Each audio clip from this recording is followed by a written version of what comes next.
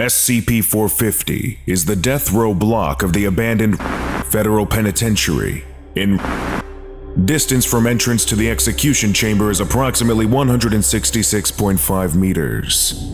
A complex pattern, drawn in human blood, is located on the wall behind the electric chair. This pattern slowly degrades over time due to normal environmental decay and must be maintained regularly. The cell block is inhabited by what appears to be one or more hostile spectral entities. Attracting the attention of said entities is invariably fatal and may or may not occur due to one of the following criteria.